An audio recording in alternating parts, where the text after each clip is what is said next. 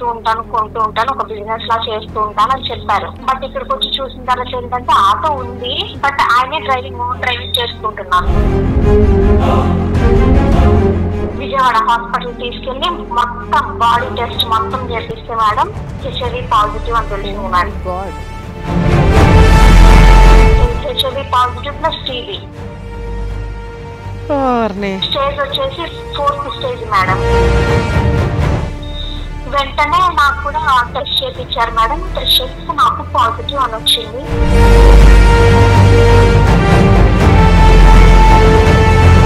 కాస్త క్యూర్ అయ్యాడమ్మా? లేదు madam six months కే చనిపోయారు.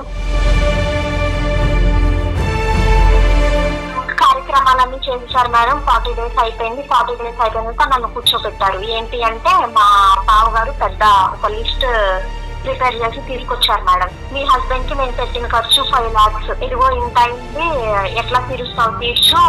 అండ్ అత్తయ్యకి ఏం రాస్తావు? ఆస్తిలో రాయి అన్నారు. ఇంకా ఆస్తి అనేసరికి నేనన్నాను నా లైఫ్ పోయింది. ఇంకా ఆస్తి ఎట్లా ఇస్తాను నేను? అని చెప్తే కాదు నీకు పిల్లలు లేరు మా వాడు లేడు. అది హెచ్ఐవి అనేది రాతలో రాస్తుంది అది నీ రాక అట్లా అయిపోయింది మేమేం చేస్తాము? అంటే అసలు మ్యాటర్ ఏంటంటే మేడం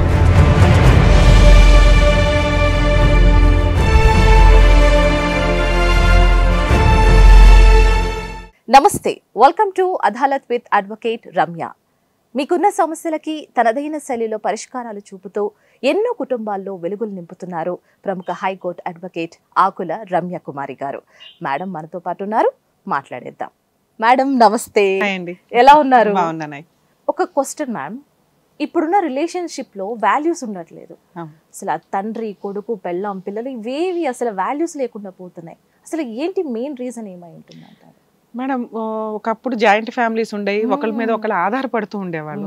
ఈ రోజున ఒకరి మీద ఒకరు డిపెండ్ డిపెండ్ అవ్వాల్సిన నెసెసిటీ లేదు. ఏంటి? ఫైనాన్షియల్గా ఎవరి కాళ్ళు సంపాదించుకునే అంత ఇండివిజువల్ ఫ్రీడమ్ అనేది చాలా ఎక్కువైపోయింది. దాని వల్ల రిలేషన్స్ అధ్వానంగా అయినాయి. రీసెంట్ గానండి నిన్న మొన్న న్యూస్ పేపర్లో ఒక న్యూస్ చూశాను. మదర్ ఎయిటీ ఇయర్స్ ఆవిడ చనిపోతే ఆవిడకి ఇద్దరు కూతుర్లు ఇద్దరు కొడుకులు.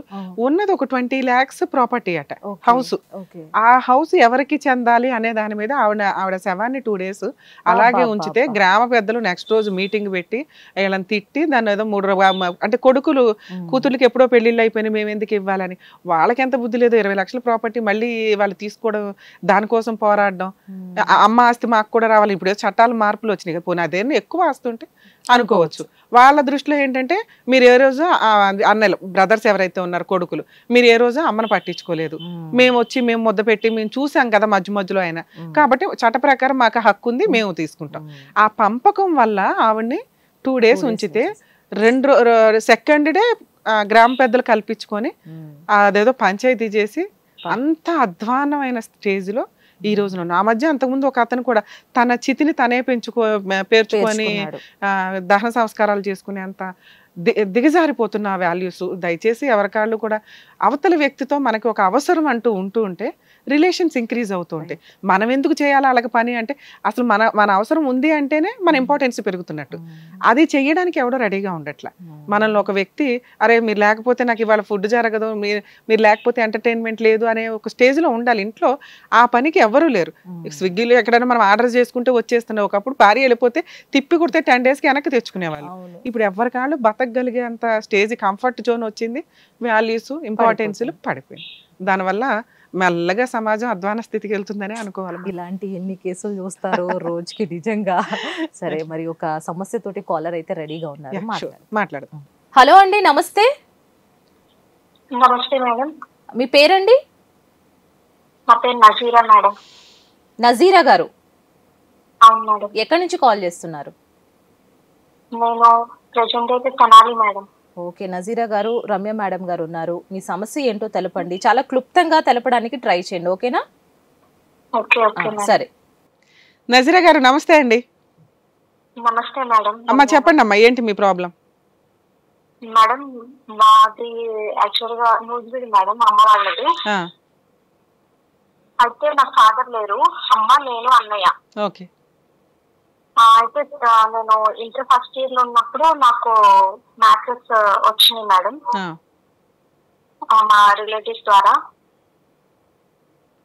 అయితే వాళ్ళు ఏమన్నారంటే డౌరీ ఏం అవసరం లేదు.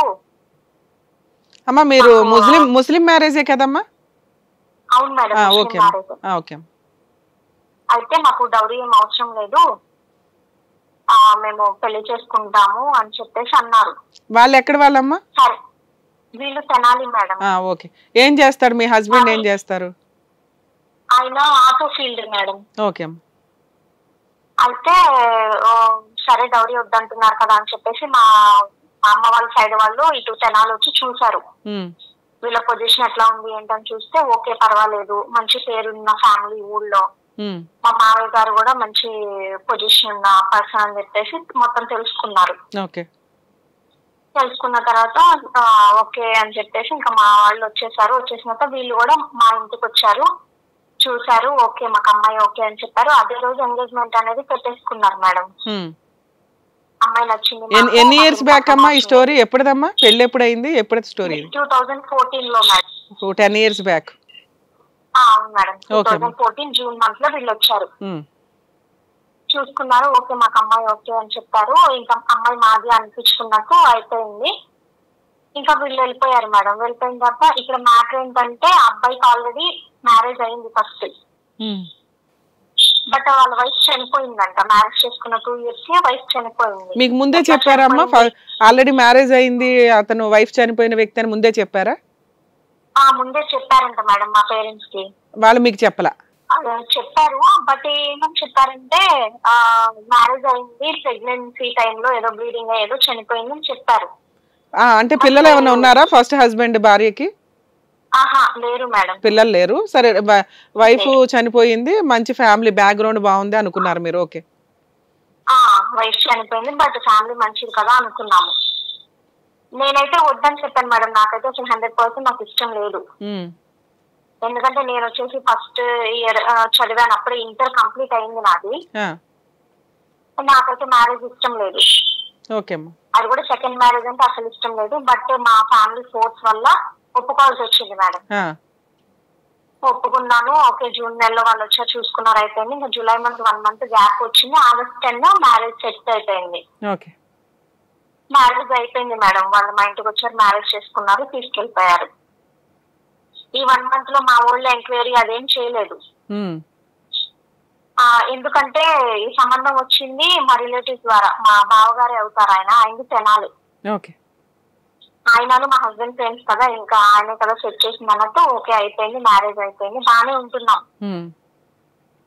ఆయన ఏం చెప్పారంటే మాకు ఆటోలు అమ్ముతూ ఉంటాను కొంటూ ఉంటాను ఒక బిజినెస్ లా చేస్తూ ఉంటాను అని చెప్పారు. బట్ ఇక్కడికి వచ్చి చూసిన తర్వాత ఏంటంటే ఆటో ఉంది బట్ ఆయనే డ్రైవింగ్ ఓన్ డ్రైవింగ్ చేసుకుంటున్నారు. ఓ మీకు మీకు చెప్పిందేమో ఆటో సేల్స్ బిజినెస్ లాగా షో ఆఫ్ ఇచ్చారు. తీరా చూస్తే ఆయన auto driver. Driver. Okay. But family పరంగా ఓకే మేడం. మంచి. ఫ్యామిలీ. ఓకే. మంచి పేరున్న ఫ్యామిలీ మంచి ఫ్యామిలీ. మా మా హస్బెండ్ వాళ్ళు వచ్చేసి ఇద్దరు బ్రదర్స్. ఈయన సెకండ్ ఆయన. పెద్ద ఆయనకి ఇంకా పెళ్ళి అవ్వలేదు. ఎందుకని? నాకు మ్యారేజ్ అయ్యేటప్పటికి. ఆయన అప్పటికి చదువుకుంటున్నారు ఎంసీఏ కాదు ఫస్ట్ ఆయనకి ఎంసీఏ చదువుకుంటున్నాడు చక్కగా. ఈయన రెండో ఆయన బిజినెస్ అని చెప్పి ఆటో ఇదిగా చేస్తున్నాడు. ఆయనకి అప్పుడే రెండో పెళ్ళి ఓకే. అంటే ఈయన ఏం చేశారంటే ఈయన్ని డిప్లొమా చదవడానికి గుంటూరులో జాయిన్ చేస్తే ఈ లవ్ స్టోరీ అనేది స్టార్ట్ అయిందంట మేడం ఫస్ట్ వైఫ్తో. ఫస్ట్ వైఫ్ లవ్ మ్యారేజా ఓకే. Love story. వీళ్ళకి ఇష్టం లేదు మా మావయ్య వాళ్ళకి. ఇష్టం లేకుండా పెళ్ళి చేసుకున్నారంట ఆయన. ఇంకా మా మావయ్య వాళ్ళు ఆయన్ని వదిలేశారు. ఇష్టం లేకుండా పెళ్ళి చేసుకున్నాడు అని చెప్పేసి ఏదో పంచాయతీలు పెట్టారంట. లేదు నాకు అమ్మాయి కావాలని పెళ్ళి చేసుకున్నారంట. ఇంకా వీళ్ళు వదిలేశారు.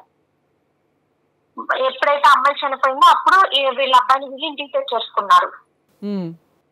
చనిపోయిన వన్ ఇయర్ లోపే మళ్ళీ నాకు ఇచ్చి పెళ్ళి చేశారు. మరి అబ్బాయి మర్చిపోవాలి కదా అమ్మాయిని మర్చిపోవడానికి టైం పడుతుంది కదమ్మా. లవ్ చేసి పోరాడి పెళ్ళి చేసుకున్న అమ్మాయి పట్టణం చనిపోయింది. ఇష్టపడి నేను పెళ్ళి చేసుకుంటే నాకు పెళ్ళి చేయండి అని అడిగాడంట మేడం.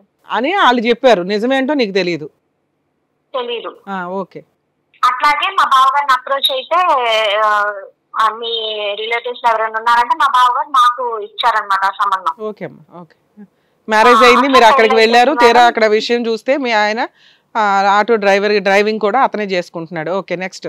ఆయనే చేసుకుంటున్నారు బాగానే ఉంది. కాకపోతే అప్పటికి మా అత్తయ్య వాళ్ళకి ఒక హౌసే ఉంది మేడం. అది చిన్నది అవటం వల్ల మా అత్తయ్య వాళ్ళు ఏం చేశారు నాకు పెళ్ళి అవ్వక ముందే నేను వెళ్ళి నేను పెళ్ళి అయ్యి ఇక్కడికి వచ్చే ముందే రెంటెడ్ హౌస్ అనేది తీసేసుకున్నారు మా కోసం. ఓకే. తీసుకొని ఒక వన్ మంత్ మా అత్తయ్య వాళ్ళు మాత్రమే ఉన్నారు. తర్వాత ఇంకా మీ లైఫ్ మీరు బ్రతకండి అన్నట్టు వాళ్ళ ఇంట్లో వాళ్ళు ఉంటున్నారు. రెంటెడ్ హౌస్లో నేను నా హస్బెండ్ ఉంటున్నాం. బాగానే సాగుతుంది మేడం బాగానే ఉంది. ఇంకా తర్వాత seven years completed madam. But పిల్లలు లేరు.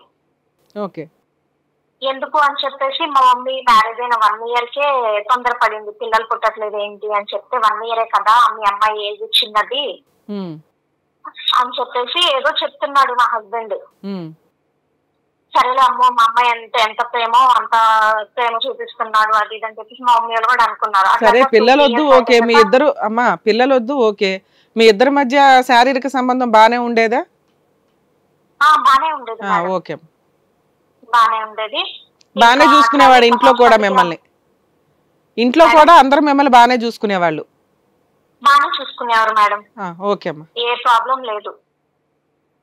ఇంకా అట్లాగే మా హస్బెండ్ హాస్పిటల్కి రమ్మంటే ఇంకా మా మమ్మీ ఫోర్స్ చేయడం ఎక్కువ చేసింది అనమాట హాస్పిటల్కి వెళ్దాము పిల్లలకి చూపించుకుందాము అసలు ఎవరిలో ఉందో తెలిసిందంటే మా హస్బెండ్ ఏం చేసేవాళ్ళు ఇగ్నోర్ చేస్తూ ఉండేవాళ్ళు అనమాట అసలు హాస్పిటల్ అన్న పేరు ఎత్తిన వెంటనే సీరియస్ అయిపోవడం గొడవ పెట్టుకోవడం మళ్ళీ అడగరు అన్నట్టు కానీ మీరు కూడా చిన్నపిల్లే. కదమ్మా అప్పటికి అంటే మీ అమ్మ కంగారు ఏంటి ఒకవేళ పిల్లలు పుడితే ఇక వదలరు హ్యాపీగా ఉంటారు అందరూ హక్కులు బాగా వస్తాయి అని లేకపోతే నువ్వు చిన్నపిల్లవే అంత త్వరగా పిల్లలు పిల్లలు పుట్టి అదే మ్యారేజ్ అయ్యి టూ త్రీ ఇయర్స్ అయిపోతుంది ఇంకా పిల్లలు లేరన్న వాళ్ళు వీళ్ళు అడుగుతున్నారు. అంటే విలేజ్ అంటే తెలిసిందే కదా మేడం. అదేమ్మా ఉమ్, అట్లా అని చెప్పేసి వాళ్ళ మైండ్ సెట్లో వాళ్ళు ఉండేవాళ్ళు. అట్లా ఎప్పుడు అడిగినా మా హస్బెండ్ వచ్చేవాళ్ళు కాదు. కానీ మా మమ్మీ నన్ను హాస్పిటల్ తీసుకెళ్తూ ఉండేది నాకు టెస్ట్ అని చేపిస్తూ ఉండేది నాకు ప్రాబ్లం లేదని చెప్తూ ఉండేవాళ్ళు మీ హస్బెండ్ని తీసుకురమ్మని డాక్టర్స్ చెప్తుండేవాళ్ళు ఈయన వచ్చేవాళ్ళు కాదు. ఇలా ఎప్పటిదాకా నడిచిందమ్మా? అట్లా టూ థౌజండ్ ట్వంటీ వన్ దాకా అట్లా నడిచింది. ఓర్ని టూ థౌజండ్ ఫోర్టీన్ ఎక్కడ ట్వంటీ వన్ ఎక్కడ? Seven ఇయర్సా? Seven years madam seven years ఈ మనిషి హాస్పిటల్ అనేది రాలేదు మేడం. మరి వాళ్ళ ఇంట్లో వాళ్ళు ఎందుకు ఊరుకున్నారు? వాళ్ళ అమ్మా నాన్న అతను ఒక లైన్లో పెట్టు మంచి కుటుంబంలో ఉన్న అమ్మాయికి పెళ్ళి చేయాలనుకున్నారు మిమ్మల్ని ఇచ్చి పెళ్ళి చేశారు. సరే టూ త్రీ ఇయర్స్ అంటే అప్పుడే పిల్లలు ఎందుకమ్మా అందాం పోని. ఫోర్ ఫైవ్ ఇయర్స్ తర్వాత స్టార్ట్ అవ్వాలి కదా. వాళ్ళైనా ప్రెజర్ అత్తయ్య గారికి మా అత్తయ్య గారికి చెప్పేదాన్ని. అత్తయ్య ఏంటి మీ అబ్బాయి పిల్లలంటే హాస్పిటల్కి రావట్లేదంటే పుడతారులే అమ్మా పుడతారులే ఇప్పుడే ఏం తొందర అని ఆవిడ స్కిప్ చేసేస్తూ ఉండేది ఏం చెప్పినా. సరే ట్వంటీ వన్లో ఏమి విషయం తెలిసింది మీకు? ఈ లోపు మా మావయ్య గారు చనిపోయారు మేడం. ఆయనకి క్యాన్సర్ వచ్చింది టూ థౌజండ్ ఎయిటీన్లో. ఆయన క్యాన్సర్ వచ్చి ఆయన చనిపోయారు. మీ బావగారు పెళ్ళి అయ్యిందా మీ ఆయన వాళ్ళ అన్నది?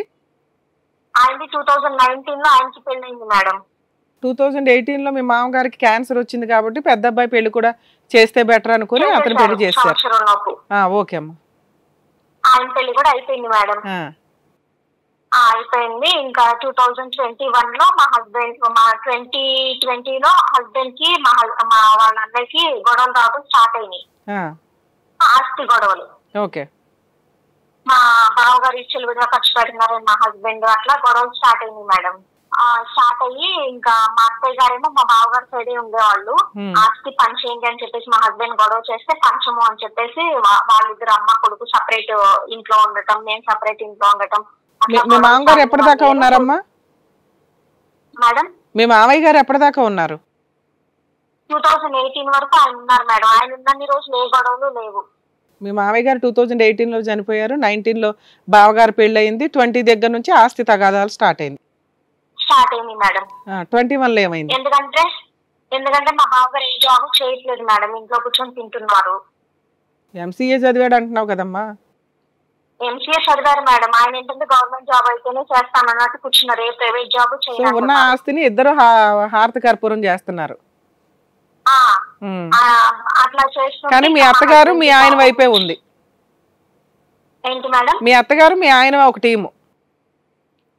మా బావగారు మా ఒక టీం ఆహా ఓకే. మీ బావగారు మీ అత్తగారు ఒక టీము. మీ ఆయన్ని కాదనడానికి కారణం ఏంటి? నువ్వు నచ్చలేదా? మీ ఆయన నచ్చలేదా? నన్ను బాగా చూసుకునేవాళ్ళు మేడం. నేనంటే చాలా ఇష్టం మా ఇంట్లో మా అత్తయ్య గారి ఇంట్లో వెరీ గుడ్ కానీ మా హస్బెండ్కి మాత్రం మా అత్తయ్య గారు ఏ రోజు సపోర్ట్ చేసేవాళ్ళు కదా. ఎందుకని? అతని బిహేవియర్ ఏంటి? ఎందుకు రెండో కొడుకు అంటే ఇష్టం లేదు? అతని బిహేవియర్ వల్ల ఖర్చు పెట్టేస్తాడా తాగుబోతా తిరిగిపోతా ఏంటి? తాగరు మేడం. స్మోకింగ్ అలవాటు ఒక్కటే ఉంది. చెడు అలవాట్లు ఏమీ లేవు మేడం.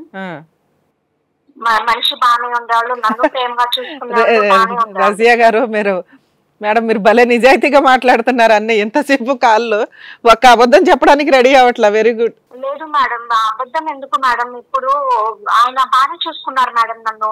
ఓకే అమ్మా ఓకే. ఒక పిల్లలు లేరన్న ఒక ఫాల్ట్ తప్ప మా అత్తయ్య గారి సైడ్ వాళ్ళు కూడా నన్ను బాగా చూసుకున్నారు. ఎట్లా అంటే ఒక కూతురులా చూసుకున్నారు. ఓకే అమ్మా. వాళ్ళని కూడా నేను అట్లే ట్రీట్ చేసేదాన్ని. వెరీ గుడ్ చెప్పండి తర్వాత ఏమైంది? అట్లా టూ థౌజండ్ ట్వంటీ వన్లో మా హస్బెండ్కి హెల్త్ ఇష్యూస్ స్టార్ట్ అయినాయి మేడం దేనికి? హెల్త్ ఇష్యూస్ ఏంటి? ఫీవర్ ఫీవర్ ఫీవర్ రావడం స్టార్ట్ అయింది. ఎట్లా అంటే ప్లేట్లెట్స్ డౌన్ అయిపోవటం. కోవిడ్ వల్ల? ఆహా కాదు madam normal fever madam sorry చెప్పడం వచ్చాను ఈ లోపు ఏమైందంటే మాకు బజాజ్ ఫైనాన్స్ నుంచి లోన్ వచ్చింది మేడం లోన్ వస్తే నాకు స్టార్టింగ్ నుంచి డ్రైవింగ్ ఫీల్డ్ అనేది ఇష్టం లేదు. నేను చెప్పాను నాకు ఈ డ్రైవింగ్ ఫీల్డ్ అంటే ఇష్టం లేదు. ఆటో అమ్మేయటమైనా లేకపోతే ఎవరో డ్రైవర్ అయినా పెట్టుకుందాం. మనం ఓన్ బిజినెస్ ఏమైనా పెట్టుకుందాం. మనకి ప్రాపర్టీ అనేది ఉంది కదా. అని చెప్పేసి చెప్తే సరే అని చెప్పేసి మా హస్బెండ్ ఏం చేశారు? బజాజ్ ఫైనాన్స్ నుంచి లోన్ తీసుకున్నారు. ఏం బిజినెస్ పెడదామని చెప్పేసి ఇద్దరం ప్లాన్ చేసుకొని క్లాతింగ్ బిజినెస్ అనేది పెట్టుకున్నాం మేడం. ఓకే. అంటే ఒక షాప్ ఏమన్నా పెట్టారా? లేకపోతే ఇంట్లో నుంచేనా? ఇంట్లోనే పెట్టుకున్నాం మేడం మేము. అంటే మాకు హౌస్ పైన హౌస్ కింద షాప్స్ మేడం. అట్లా కింద షాప్లో మేము ఈ బట్టల షాప్ అనేది పెట్టుకున్నాం. ఓకే. బాగా నడుస్తుంది బాగానే ఉంది మా లైఫ్. ఇంకా ఆటో ఫీల్డ్ అనేది ఆయన వదిలేశారు. బాగానే నడుస్తుంది మేడం. ఇంకా ఆయనకి ఫీవర్ అనేది స్టార్ట్ అయింది ప్లేట్లెట్స్ డౌన్ అయిపోయినాయి. హాస్పిటల్ తీసుకెళ్ళాము మెడిసిన్ వాడుతున్నాము. కొన్ని రోజులు వన్ వీక్ తగ్గుతుంది. మళ్ళీ స్టార్ట్ అవుతుంది ఫీవర్ అనేది. మీరు బ్రీఫ్ చేయాలమ్మా విషయాన్ని ఫాస్ట్గా చెప్పండి. హా, అయితే మేడం ఆయన ఈ లోపు ఏం చేస్తున్నారు? పొలం పనులు కూడా చూసుకుంటున్నారు మా హస్బెండ్. ఓకే. పొలం పనులు కూడా చూసుకుంటున్నారు. చూసుకుంటూ చూసుకుంటూ ఇంక షాప్ చూసుకుంటున్నారు. అంటే ఫీవర్ వస్తుంది తగ్గుతుంది అట్లా అట్లా. ఇంకా అసలు మనిషి అనేది బాగా వీక్ అయిపోయారు మేడం. అంటే బాగా వెయిట్ లాస్ అయిపోయారు. నైన్టీ కేజెస్ ఉన్న ఆయన సిక్స్టీకి వచ్చేసారు అనమాట డాక్టర్లు ఏం చెప్తున్నారమ్మా? థర్టీ కేజెస్ ఒకేసారి తగ్గడం అంటే మా మామూలు విషయం కాదు కదా? ఆ వాళ్ళు ఏం చెప్తున్నారు? ఏ టెస్ట్ చేసినా ఓన్లీ ప్లేట్లెట్స్ ప్రాబ్లం ఒక్కటే చెప్తున్నారు. ఓకే సరే ఫైనల్గా ఏమైంది? ఇంకా మా బ్రదర్ వచ్చాడు హాస్పిటల్ తీసుకెళ్ళాడు మేడం. ఎందుకంటే ఆస్తి తగాదాల వల్ల వాళ్ళ మాకు వాళ్ళ అమ్మోళ్ళు మాతో మాట్లాడట్లేదు. ఏం ఆస్తులు ఉన్నాయమ్మా? అంత ఆస్తి తగ్గదాలు మరి పని చేసుకోవచ్చు కదా రూల్ ప్రకారం. అవును మేడం. ఈయన పెద్ద గొడవ చేసి నేను పోలీస్ స్టేషన్కి వెళ్తాను. మా ఆస్తి అనేది పంచట్లేదు అని చెప్పేసి కేసు పెడతాను అన్నది ఒక భయం వేసి పెద్ద మనుషులు పెట్టి ఆస్తి అనేది పంచుకున్నారు మేడం. మా మా హస్బెండ్ వాళ్ళ బ్రదర్ ఓకే అమ్మా. టూ థౌజండ్ ట్వంటీ వన్లోనే ఆస్తి పంపకాలు కూడా అయిపోయినాయి మేడం. అయిపోయింది. ఈ లోపు మా బ్రదర్ వచ్చాడు. నాకు ఒక అన్నయ్య ఉన్నాడు కదా కానీ మా అన్నయ్య వచ్చి హాస్పిటల్ తీసుకెళ్ళాడు. విజయవాడ హాస్పిటల్ తీసుకెళ్ళి మొత్తం బాడీ టెస్ట్ మొత్తం చేపిస్తే మేడం హెచ్ఐవి పాజిటివ్ అని తెలిసింది madam. God HIV positive plus TB ఓర్ని. స్టేజ్ వచ్చేసి ఫోర్త్ స్టేజ్ మేడం. తెలిసింది. తెలిస్తే ఇంకా మా మమ్మీ వాళ్ళ ఇంటికి తీసుకెళ్ళాడు నన్ను మా అన్నయ్య. నన్ను మా హస్బెండ్ ఇద్దరిని తీసుకెళ్ళాడు. తీసుకెళ్ళి మా మమ్మీతో చెప్పాడు. బట్ నాకు చెప్పలేదు మేడం మ్యాటర్ ఉమ్, నేను తట్టుకోగలనా లేదా అన్నట్టు నాకు చెప్పలేదు. వన్ వీక్ నుంచి మా అన్నయ్యని మా అమ్మని చూస్తున్నా వాళ్ళలో చేంజ్ కనిపిస్తుంది. నాకంటే ఏడవటం అట్లా. నిన్ను దగ్గరికి రానివ్వకపోవడం ఏదో ఏదో జరుగుతుందని నీకు అర్థమవుతుంది.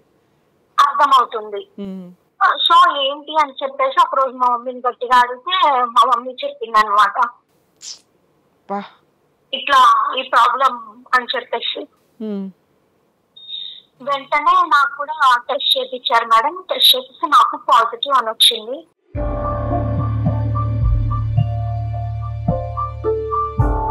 పా.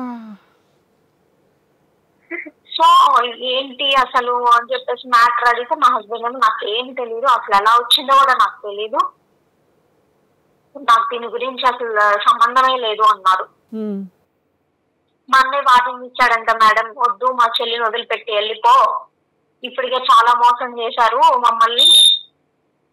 అని చెప్తే లేదు లేదు నాకు తెలియదు అది ఇది అని చెప్పేసి చెప్పారు. ఒక వన్ మంత్ మా మమ్మీ వాళ్ళ ఇంట్లో ఉన్నాము. మేము మళ్ళీ మా ఇంటికి వచ్చేసాం మేడం తెనాలి. మా హస్బెండ్ నేను వచ్చేసాం. ఓకే. వచ్చేసాము. వచ్చేసినాక వాళ్ళ బ్రదర్కి వాళ్ళ మదర్కి కూడా చెప్పాము. వాళ్ళలో ఏ రియాక్షన్ లేదు మేడం. అసలు ఏ రియాక్షన్ లేదు. వాళ్ళ షాక్ అయిన రియాక్షనే లేదు వాళ్ళల్లో. సరే అన్- అన్నారు. ఇంకా విజయవాడలో ట్రీట్మెంట్ సరే ఇప్పుడు ట్వంటీ ట్వంటీ వన్లో ఆస్తి వచ్చింది కదా. Registration partition. అయిపోయినాయా? ఎవరు ఎవరి ఆస్తులు అలా అలా చేతులకు వచ్చేసినాయా వచ్చేసింది మేడం ఆ, documents ఓకే. సూపర్. కనీసం గుడ్లో మళ్ళీ ఇది ఒక గుడ్ న్యూస్ అంతే. చెప్పమ్మా. అయితే ఇంకా హాస్పిటల్ ట్రీట్మెంట్ తీసుకుంటున్నాం మేడం. మా హస్బెండ్ వాళ్ళ సైడ్ అంటే వాళ్ళ ఆయన ఇప్పుడు రెక్టిఫై అయ్యాడా? కాస్త క్యూర్ అయ్యాడమ్మా? లేదు మేడం. సిక్స్ మంత్స్ కే చనిపోయారు.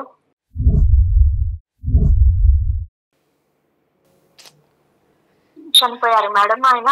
ఎప్పుడు చనిపోయారమ్మా?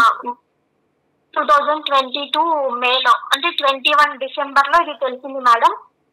వన్ ఇయర్ అయింది మీ 22 మేలో హస్బెండ్ చనిపోయారు. మీ హస్బెండ్ చనిపోయి వన్ ఇయర్ అవుతుంది.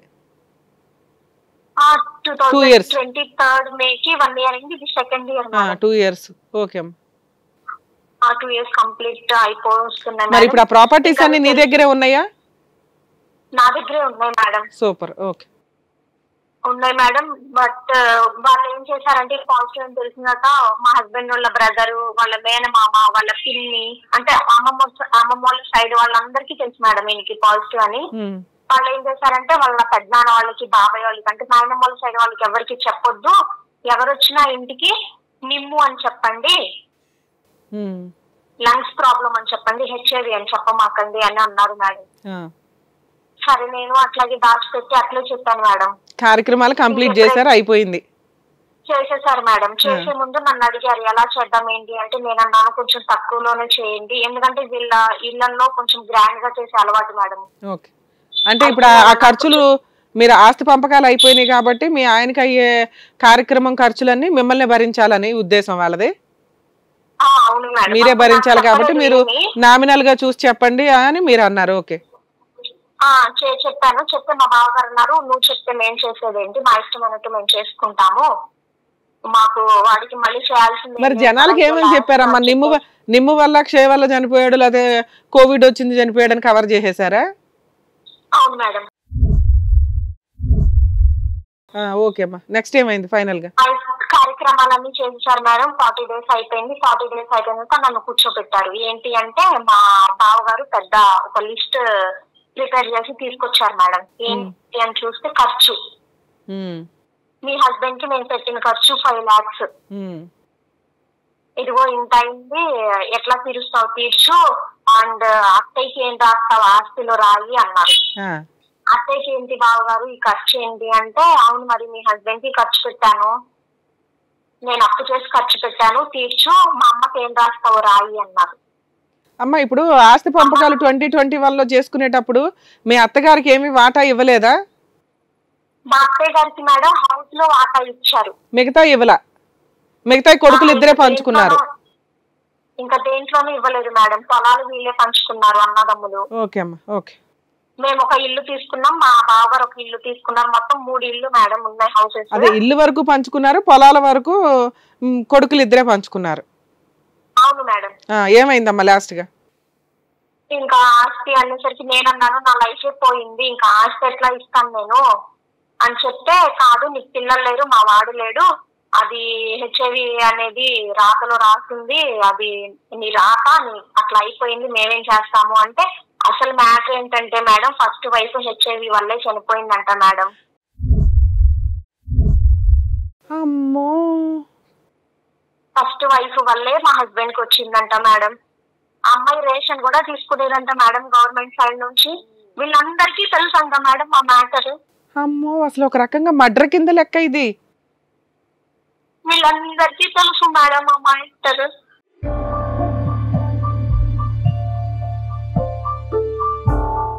పెద్ద చైన్ క్రియేట్ ఆ, చేశారు కదా ఎంత ఒక రకంగా మడ్డరు సొసైటీ కోసం ఆ అబ్బాయికి పెళ్ళి చేశారు. ఏదో అదృష్టం కొద్ది పదేళ్ళు బతికేశారు అనుకోండి. అంటే ఇప్పుడు అన్నిటికీ ట్రీట్మెంట్లు ఉన్నాయి కాబట్టి ఆ అబ్బాయి అందుకే ప్రెగ్నెన్సీ వద్దు అంటున్నాడు. పిల్లలు పుట్టకుండా హాస్పిటల్కి రాకుండా డాక్టర్ కూడా క్లియర్గా చెప్పారు మేడం మెడిసిన్ వాడకపోతే లైఫ్ స్పామ్ అనేది తగ్గిపోతుంది. మెడిసిన్ అమ్మ అసలు చేసుకొని టూ ఇయర్స్ ఉన్నాడు నాతో చేసుకొని ఎయిట్ ఇయర్స్ ఉన్నాడు. అవును. Ten years completed madam. సరే నాన్న ఇప్పుడు ఫైనల్గా ఆ పంచాయతీ ఏమైంది? ప్రాపర్టీస్ ది. ఇంకా నేను వీళ్ళు వినట్లేదు అని చెప్పేసి నేను వీళ్ళ నాయనమ్మల సైడ్ వాళ్ళందరికీ చెప్పేశాను మేడం ఇది పొజిషన్ నన్ను ఇలా చేశారు అంటే వాళ్ళు కూడా వాళ్ళకి సపోర్ట్ చేస్తున్నారు మేడం. వాళ్ళకే?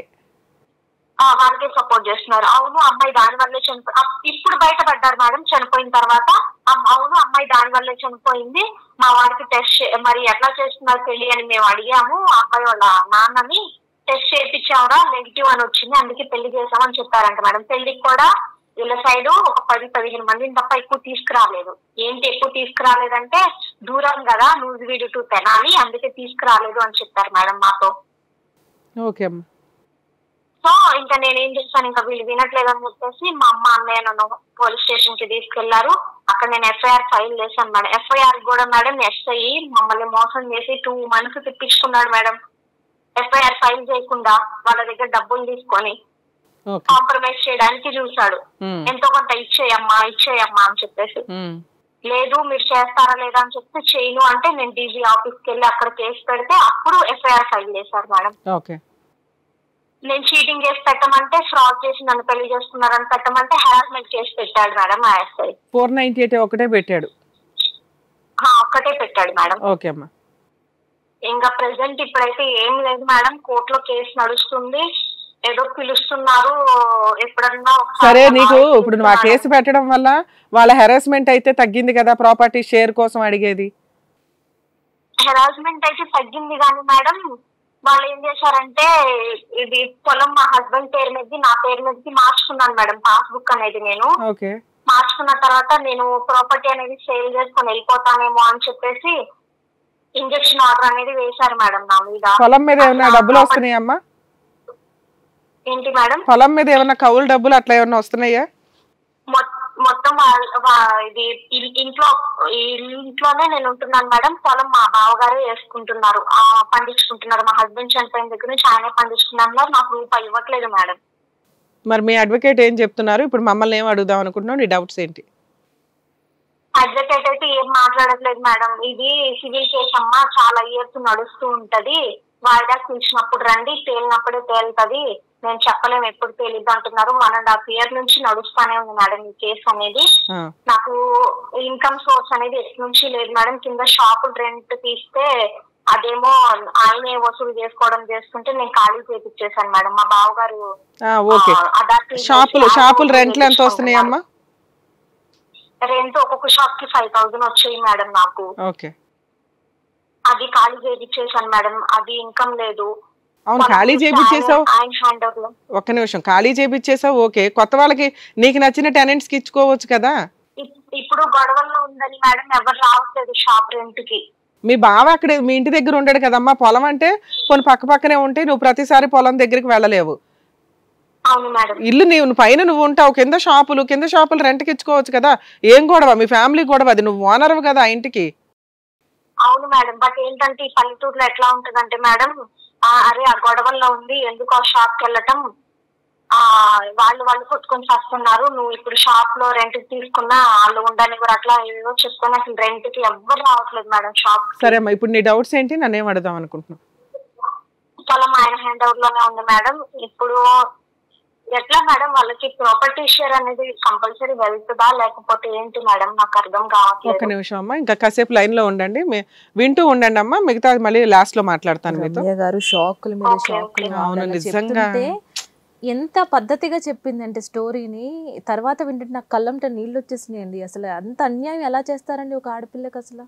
అంటే నేను ఇందాక మధ్యలో ఒకసారి ఒక మాట అన్నాను. ఏంటి మీరు ఎంత ఆనెస్టీగా మాట్లాడుతున్నారు. అత్తమామలు బాగా చూడడం ఏంటి? హస్బెండ్ బాగా చూడడం ఏంటి? భలే నిజాయితీగా మాట్లాడుతున్నావమ్మా అన్నాను. ఈవిడ నిజాయితీగానే ఉంది.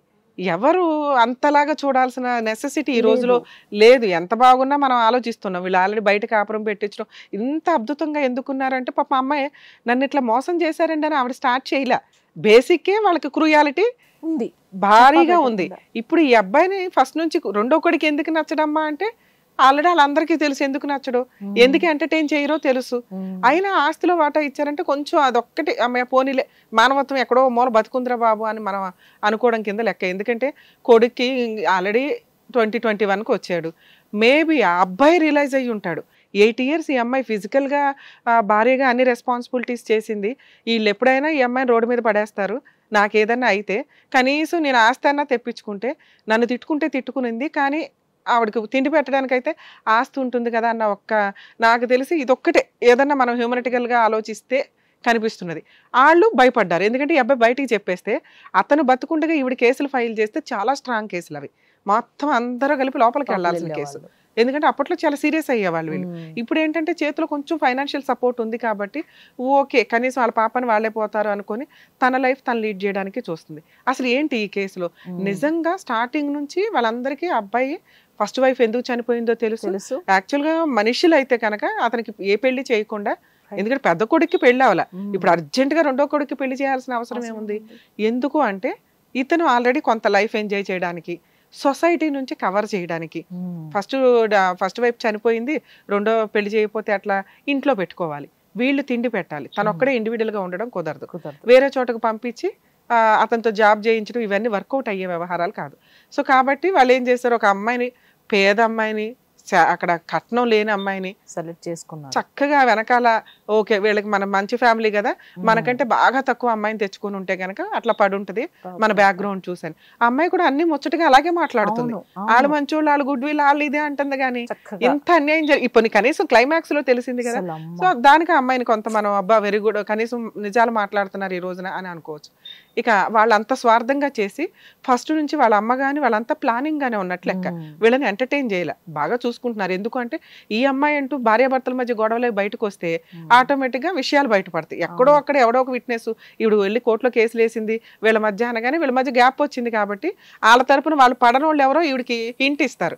అమ్మ మీ ఆయన ఫస్ట్ వైఫ్ ఇలాగా అని. నెక్స్ట్ వన్స్ లీగల్గా ఎంటర్ అయినాక వాళ్ళ కరెక్ట్ అడ్వకేట్ అయితే బ్యాక్గ్రౌండ్ అంతా ఎంక్వైరీ చేస్తాడు. అసలు ఫస్ట్ వైఫ్ ఏమైంది ఆ ప్రాసెస్ ఏంటి అని అప్పుడైనా దొరికింది. సో ఇక్కడ అవంతా అయిపోయింది. ట్వంటీ ట్వంటీ వన్లో ఆస్తి పంపకాలు ఎందుకు జరిగినాయి అంటే ఆ అబ్బాయి ఏమన్నా రియలైజ్ అయ్యి తినని ఎందుకు రోడ్డు మీద పడేయడం ఆ పాపం నేను ఎందుకు మూట కట్టుకోవాలి అన్న ఉద్దేశంతో ఆస్తి పంపకం చేసుకున్నాడు. మేబీ అప్పుడు వాళ్ళు చేయాల్సిన పని మూడు భాగాలు చేయాలి. ఎప్పుడు కూడా ఇది వారసత్వపు ఆస్తి. కొడుకులు ఇద్దరే పని చేసుకుంటామంటే కుదరదు. కూతుర్లు ఉంటే కూతుర్లు కూడా పంచుకోవాలి ఒక రకంగా. కానీ వాళ్ళ అమ్మకి ఇల్లు ఇచ్చారు. ఆ ఇల్లు ఆటోమేటిక్గా పెద్ద కొడుకే తీసుకుంటాడు. రెండో విషయానికి వచ్చేసరికి కొడుకులు ఇద్దరు సమానంగా పంచుకున్నారు. కొడుకులు పనిచేసుకున్న ఆస్తి. అతని భార్యకి మాత్రం చెందుతుంది. ఎప్పుడు? కొడుకు పేరు మీద ఆవిడకి ఆస్తి పంపకాలు ఈక్వల్గా జరిగితే. కొడుకు అమ్మ రెండో కొడుకు. ముగ్గురు కలిపి సమానంగా పంచుకుంటేనే. ఈ ఆస్తి అత్తగారికి వెళ్ళదు. ఓకే. ఏది? కొడుకు చనిపోయాడు. ఉమ్. కొడుకు చని కొడుకు చనిపోయిన తర్వాత ఆస్తి ఆటోమేటిక్గా అమ్మాయిది ఆ అమ్మాయి పిల్లలది. ఇక్కడ పిల్లలు లేరు. ఈవిడ కూడా ఎంతకాలం ఉంటుందని వీళ్ళు ముందే డిసైడ్ చేసేస్తున్నారు. యాక్చువల్గా ఇప్పుడు ఆ ప్రాసెస్ చూసుకుంటే మెడికల్గా మనం కొంత సేఫ్ సైడ్లో ఉన్నట్టే లెక్క. సో ఇక్కడ ఆ ఆస్తి ఆటోమేటిక్గా ఇక్కడ పిల్లలు లేరు కాబట్టి అమ్మకు కూడా ఇది పొలం ఉంది కదా దాన్ని ఈక్వల్ చేయమని అడగడానికి ఉంటుంది. హౌస్ అయితే ఈక్వల్ అయిపోయింది కాబట్టి. అప్పుడు ఆవిడ కింద రెంట్లు షాప్ షాపులు రెంట్లకు ఇచ్చుకొని బతకచ్చు ఒక రకంగా. కానీ అదే అక్కడ పుల్ల పెడుతున్నారు. ఈవిడ ఏదో రకంగా ఆ పొలాన్ని పూర్తిగా రాసి ఇచ్చేస్తే ఇల్లు మాత్రం పూర్తిగా ఇవ్వడానికి అవకాశం ఉంది. ఆ ఇల్లు ఎంత వాల్యూ చేస్తుంది అనేది మనం ఒకసారి తర్వాత మాట్లాడదాం. సో ఇక్కడ ఈ ప్రాసెస్లో ఇవ్వాలా వద్దా? రూల్ ప్రకారం ఇవ్వాలి. ఏది? పంపకం జరగంది. పొలాలు పంపకం జరగలేదు అత్తగారికి కూడా ఇవ్వాలి. ఈ కేసులో ఇవ్వాలా వద్దా. ఈ కేసులో వాళ్ళు ఆల్రెడీ చీటర్స్. సో వీళ్ళు చేసిన మిస్టేక్ ఏంటి అంటే ఫోర్ నైన్టీ ఎయిట్ ఒకటి ఎంటర్టైన్ చేశారు. ఫోర్ ట్వంటీ పెట్టాల్సిందే. అందరికీ తెలుసు. ఎందుకంటే అమ్మాయి ప్రూవ్ చేయగలదు. ఫస్ట్ వైఫ్ ఫలానా దీంతో చనిపోయింది అంటే అది ఆటోమేటిక్గా హస్బెండ్కి వచ్చేసింది. అతను వాళ్ళ ఫ్యామిలీ మెంబర్స్ తెలిసి చీట్ చేసి వీళ్ళు పెళ్ళి చేసినట్లు లెక్క. మాకు తెలియలేదండి అని వాళ్ళు చెప్తే ఆల్రెడీ అబ్బాయికి అయితే తెలుసుగా అబ్బాయి మోసం చేశాడుగా అబ్బాయి ఆస్తి కాంపెన్సేట్గా అమ్మాయికి వెళ్ళాల్సింది. ఆవిడ జీవితాన్ని ఇప్పుడు ఈ అమ్మాయి ఇంకో పెళ్ళి చేసుకోలేదు. తిప్పి కొడితే అమ్మాయి చిన్న అమ్మాయి. అవును. ఇప్పుడు హస్బెండ్ చనిపోయాడంటే ఒక టూ త్రీ ఇయర్స్కి ఇంకో పెళ్ళి చేసుకోవడానికి అవకాశం మ్మ్. ఉంది. ఇప్పుడు ఇంత తెలిసి మళ్ళీ ఈ అమ్మాయి ఇంకో పెళ్ళి చేసుకుంటే ఈవిడ మోసం చేసినట్టే అవుతుంది. సో ఈ అమ్మాయికి ఉన్న మానవత్వానికి మనం అను- అనుకోవాలి. ఒక రకంగా మరి అదే నెక్స్ట్ స్టెప్ ఎలా ఉంటుందో మనకు తెలియదు కాబట్టి ఇప్పుడు మ్యారేజ్ చేసుకోదని అనుకుందాం ఎందుకంటే ఇంకొకరి జీవితం నాశనం చేయాలని అనుకోరు కదా ఎవరు. ఆ- అట్లా ఒకవేళ తను అలాగే ఉంటుందంటే ఆ ప్రాపర్టీ ఈవిడ కేసులో కాంపెన్సేట్గా ఉండిపోతుంది. ఓకే. ఓకేనా? సో ఇది కొంచెం క్లారిటీ తీసుకుంటాం. మేడం ఒకసారి వినండి.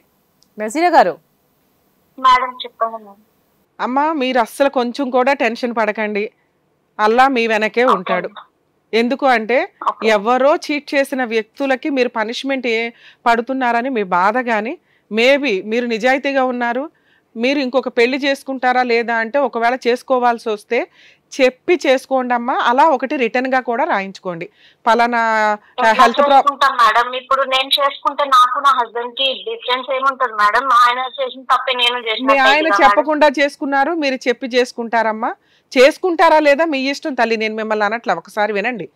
ఎందుకంటే మళ్ళీ రమ్య గారు దొరకపోవచ్చు కదా ఉన్నాయన్నీ చెప్తే నువ్వు అవన్నీ స్టోర్ చేసుకుని పెట్టుకుంటావు brain లో. ఓకేనా? వినండి. ఒకవేళ మీరు పెళ్ళి చే నా హండ్రెడ్ పర్సెంట్ మీరు చేసుకోరు రిలాక్స్ మిగతా విషయాలు మాట్లాడుకుందాం. ఒకవేళ ఎప్పుడైనా చేసుకోవాలని అనిపిస్తే అవతల వ్యక్తి. పార్ట్నరు వాళ్ళు కూడా ఇలాంటి ప్రాబ్లమ్స్ ఉన్న వాళ్ళు సమాజంలో బోల్డ్ మంది ఉన్నారమ్మా బయటికి చెప్పరు. అన్- మనకి కోవిడ్ చాలా నేర్పించింది. అందుకే షేక్ హ్యాండ్లు కానీ ఇవి కానీ కొంచెం జాగ్రత్తగా ఉంటే బెటర్ ఎవరెవరికి ఏమీ అవ్వదు. నెక్స్ట్ ఇలా ఒక పార్ట్నర్ని చేసుకోవాలనుకుంటే దీనికి సంబంధించి కొన్ని ఎన్జిఓస్ ఉన్నాయమ్మా. ఇదేమి పెద్ద వివర ఒకప్పుడు భయపడిపోయేంత జబ్బు కానీ ఇప్పుడు అంత వ్యాధి కాదు. దీనికి ట్రీట్మెంట్ ఉన్నాయి. కరెక్ట్గా ఇమ్యూనిటీ మెయింటైన్ చేసుకుంటూ మెడిసిన్స్ వాడితే మామూలు వ్యక్తుల కంటే ఎక్కువ బతుకుతున్నారు ఎందుకు అంటే రెగ్యులర్గా మెడిసిన్లో ఉంటున్నారు కాబట్టి. అర్థమవుతుందా. సో మీరు అస్సలు బాధపడాల్సిన అవసరం లేదు. వాళ్ళ పాపాన్ని వాళ్ళే పోతారు. మీరైతే స్ట్రాంగ్గా ఉండండి. మెంటల్ స్ట్రాంగ్నెస్సే సగం మెడిసిన్ గుర్తుపెట్టుకోండి. ఇక రెండు మీ అత్తగారికి ఆస్తి ఇవ్వాలా లేదా? ఇందాక నేను చెప్పాను మూడు భాగాలు సమానంగా పంచుకొని ఉంటే కనుక ఆవిడ పార్టీషన్ షేర్ ఆవిడకి వచ్చేసినట్టు లెక్క. ఆవిడకి ఇవ్వాల్సిన అవసరం లేదు. కానీ మీ కేసులో మూడు భాగాలు సమానం అవ్వాల. ఆవిడకి కొంచెమే ఇచ్చారు. మిగతాది రూల్ ప్రకారం ఇవ్వాలి. ఆవిడ కోర్టుకి వెళ్ళి ఒక పది పదిహేను ఏళ్ళు ఫైట్ చేసినాక ఈ లోపు ఆవిడ ఉంటే ఓకే ఉండకపోతే మళ్ళీ అది మీకే వచ్చేస్తుంది.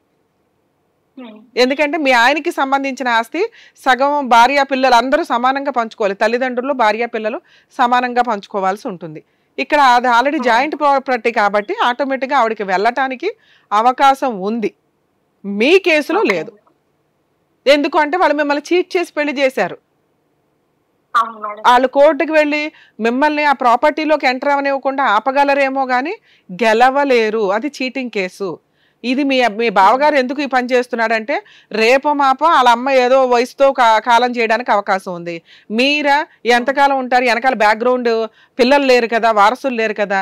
ఇది మా వారసత్వపు ఆస్తే కదా మేమే కొట్టేయాలి. మా అమ్మ నాన్నలో మా ముత్తాతలకు సంబంధించింది కదా అన్న క్రూయల ఆలోచనతో ఆ వ్యక్తి ఉన్నాడు కానీ అది వర్కౌట్ అవ్వదు. మీరు ఎవరికైనా మసీ మసీదులకే రాసుకుంటారో దాన ధర్మాలకి రాసుకుంటారో మీ అన్న వాళ్ళకే రాసుకుంటారో మీ ఇష్టం అమ్మ మీ తదనంతరం మీ ఆస్తి ఎవరికి చెందాలి అని రాసుకొని రిజిస్ట్రేషన్ చేసుకునే హక్కు మీకు ఉంటుంది వాళ్ళు పోరాడుకుంటారు దీనికి సంబంధించి. ఇక మీ మీ కేసు విషయానికి వచ్చేసరికి మీరు రెండు కేసులు రన్ చేస్తున్నారు ఇప్పుడు. ఒకటి four ninety eight case.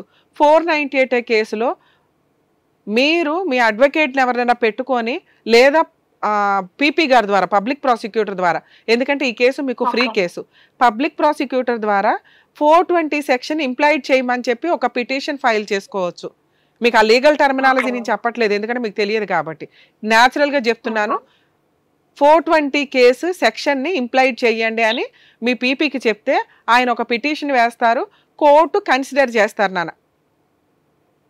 ఇది నీకు free case. Three to five years పైనే పడుతుందమ్మా. మీరు కంగారు పడకండి. దీనివల్ల మీకు కొంత ప్రొటెక్షన్ వచ్చినట్టు లెక్క. ఇచ్చే ఇప్పటికే ఇస్తావా. ఇవ్వవా అన్న వ్యవహారం నుంచి. ఇది ఎంతకాలం నడిచినా నీకు వచ్చిన లాస్ లేదు. ఒక సేఫ్ సైడ్లో ఉంటుంది. మీరు చేయాల్సిన పని చీటింగ్ సెక్షన్ కూడా యాడ్ చేసుకోండి. రెండు ప్రాపర్టీకి సంబంధించిన కేసు. విషయంలో దాని మీద అతను ఇంజెక్షన్ ఆర్డర్ మాత్రమే తీసుకొచ్చాడమ్మా. మీరు ఆల్రెడీ అది మీకే. మీకు సంబంధించిన ప్రాపర్టీ అని ఆ ఇంజెక్షన్ ఆర్డర్ వెకేట్ కోసం వెకేట్ చేయమని పిటిషన్ వేయాలి. అలాగే వాళ్ళ కేసు డిస్మిస్ విత్ కాస్ట్ తోటి. మీరు డిక్లేర్ చేయండి మేమే ఓనర్స్ అని అనాల్సిన అవసరం లేదు. వాళ్ళు ఒకవేళ లోయర్ కోర్టులో. ఓడిపోయినా హైకోర్టుకు వెళ్తారు. ఎందుకంటే ఇందాక నేను చెప్పా రీజన్స్. మీ అమ్మ అత్తగారు ఎంతకాలం మీరు మీకు వెనకాల పిల్లలు లేరు అనే ఒక పాయింట్ల మీద వాళ్ళు ఫైట్ చేస్తూనే ఉంటారు. మీరు చెయ్యాల్సిన పని ఆ కేసు ప్రాపర్టీ కేసులు ఎప్పుడు కూడా more than eight to ten years దాకా నడుస్తాయమ్మా. ఏమైనా అదృష్టం బాగుండి కొంచెం త్వరగా అవుతే అవ్వచ్చు కానీ నైంటీ పర్సెంట్ కేసులు సివిల్ మ్యాటర్లు ఇలాగే ఉంటాయి. సో ఇక్కడ మీ అడ్వకేట్ ఏదో అద్భుతంగా పరిగెట్టి చేద్దామన్నా కూడా వర్కౌట్ అవ్వదు. ఓకేనా? ఓకే. నెక్స్ట్ మీరు చెయ్యాల్సిన పని హ్యూమన్ రైట్స్ కమిషన్లో ఒక కంప్లైంట్ ఫైల్ చేయండి అమ్మ. మీరు తెనాలి అంటున్నారు మరి ఆంధ్ర వాళ్ళకి హ్యూమన్ రైట్స్ కమిషన్ ఉంటే మీరు అదొకసారి నెట్లో సెర్చ్ చేసుకోండి. అక్కడికి వెళ్ళి లేదా ఉమెన్స్ కమిషన్ ఉంది. ఉమెన్స్ కమిషన్లోనా మీరు కంప్లైంట్ ఇవ్వచ్చు. నా ప్రాపర్టీ షాపుల్లో నేను రెంట్కి ఇస్తుంటే అక్కడ అన్పాపులర్ చేసి ఎవరిని రానివ్వటం లేదు. నాకు ప్రొటెక్షన్ ప్రొవైడ్ చేయించండి అని ఒక కంప్లైంట్ ఇచ్చే రైట్స్ మీకు ఉంది అప్పుడు. మీరు డైరెక్ట్గా పోలీసులకు వెళ్తే పోలీసులు వినరు కానీ మీరు హ్యూమన్ రైట్స్ కమిషన్కి వెళ్తే హ్యూమన్ రైట్స్ వాళ్ళు పోలీసులకు ఆర్డర్ ఇస్తారు. మీరు అప్పుడు టూలెట్ బోర్డు పెట్టుకోండి ఎవరన్నా వస్తే ఆ ఐదు వేలు రెంట్ పోనీ నాలుగు వేలకే ఇవ్వు. నీకు కొంచెం సేఫ్ సైడ్ ఉంటుంది ప్రొటెక్షన్ ఉంటుంది. ఇలా మీరు ఒక ప్రొటెక్షన్ తీసుకున్నాక రెంట్కి ఇస్తే అవతల వాళ్ళకి కూడా ఒక క్లారిటీ ఉంటుందమ్మా. మీరు కూడా ధైర్యంగా ప్రొసీడ్ అవ్వచ్చు. రెండు మీరు మెయింటెనెన్స్ కేసు వేయండి అమ్మా. అది గెలుస్తారా లేదా అని కాదు. ఎందుకు వేయమంటున్నారు? అది ఫాల్స్ కేసే అనుకుందాం పోని. కానీ మీ హక్కు అది ఫాల్స్ కేసు ఏం కాదు. ఇప్పుడు మీ కేసులో డిఫరెంట్ కాబట్టి. వాళ్ళు మిమ్మల్ని చీట్ చేశారు. రెండు మీ ఆస్తి ఏదైతే పొలం ఉందో పొలం మీద వస్తున్న ఇన్కమ్ని మీ బావగారు వాడుకుంటున్నారు. ఈలోపు నాకు ఇల్లు గడవట్లేదు అని చెప్పి మీరు ఒక మెయింటెనెన్స్ కేసు ఫైల్ చేయండి మీ బావగారి మీద.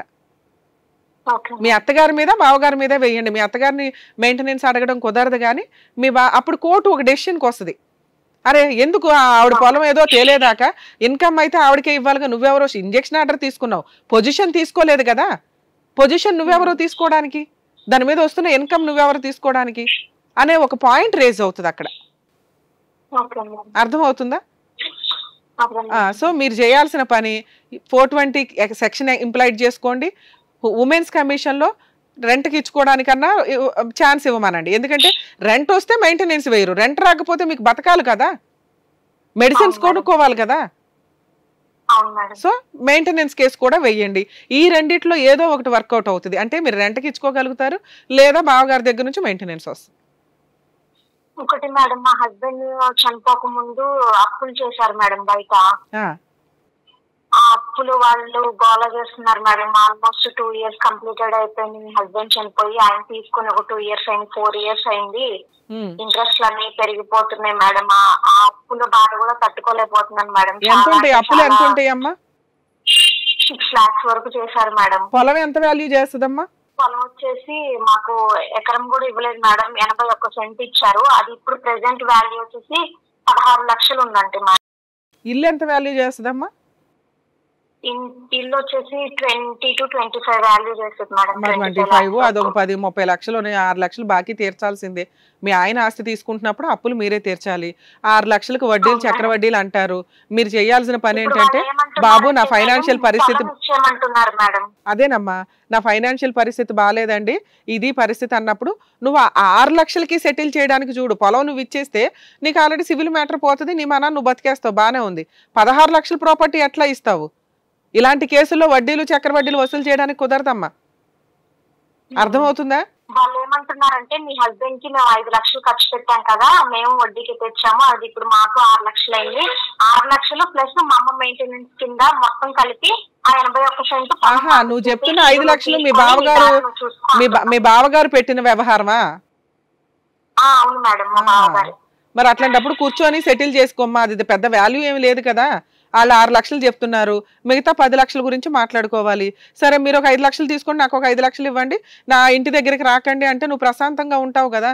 ఐదు లక్షలు ఫిక్స్డ్ ఓకే. పండగలన్నీ పడలేనని చెప్పేసి మొన్న విన వినండి అమ్మా ఇది ఇది బాగానే ఈ వ్యవహారం బాగానే ఉంది.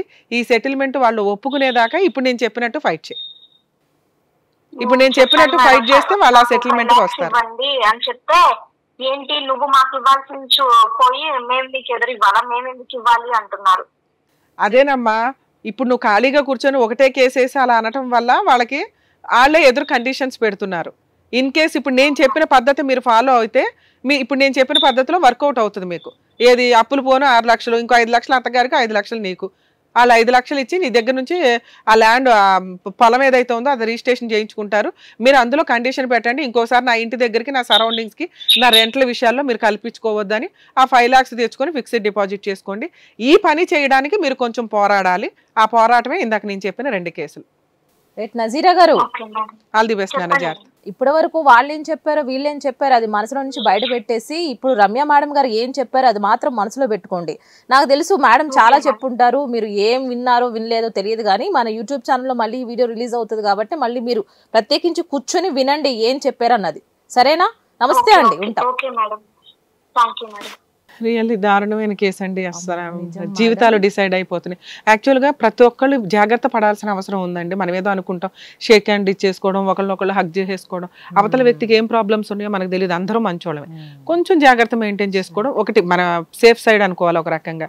రెండు ఇది ఈ ఒక్క కేసే కదండి నేను కన్సల్టేషన్స్ కూడా మాట్లాడుతూ ఉంటాం కదా చాలా కనీసం ఎక్కడో ఒక ఫిఫ్టీ కాల్స్ హండ్రెడ్ కాల్స్ విన్నప్పుడు ఒక కాల్ ఇట్లాంటిది ఉంటుంది. అడ్డంగా మోసం చేసి పెళ్ళి చేసుకోవడం అనమాట ఆల్రెడీ అదే పెద్ద పనిష్మెంట్. మళ్ళీ ఇంకా పాపం వేసుకోవడం ఎందుకు? కొంచెం ఇలా ఏదన్నా ఉన్న వాళ్ళు అవతల పార్ట్నర్ తోటి చెప్పి షేర్ చేసుకుంటే బెటర్ అనేది నా ఉద్దేశం. Right ma'am. నిజంగా మీరు చెప్పేవి ఇక్కడ నజీరాకే కాదు. చూస్తున్న వాళ్ళకి కూడా చాలా ఉపయోగకరంగా ఉంటాయి కూడా. ఎన్ని తీసుకోవచ్చా మేడం మీరు చెప్పే దానిలో చక్క ఇట్లా ఏరుకోవచ్చు అనమాట సో గైస్ చూసారు కదా? మరి మీకు కూడా న్యాయపరమైనటువంటి ఎటువంటి సలహాలు కానీ సూచనలు కావాలంటే ఏం చేయాలి? స్క్రీన్ పై కనిపిస్తున్న నెంబర్కి వెంటనే కాల్ చేయండి. సో మరో ఎపిసోడ్తో మళ్ళీ కలుసుకునే ప్రయత్నం చేద్దాం. నమస్తే మ్యామ్. నమస్తే అండి.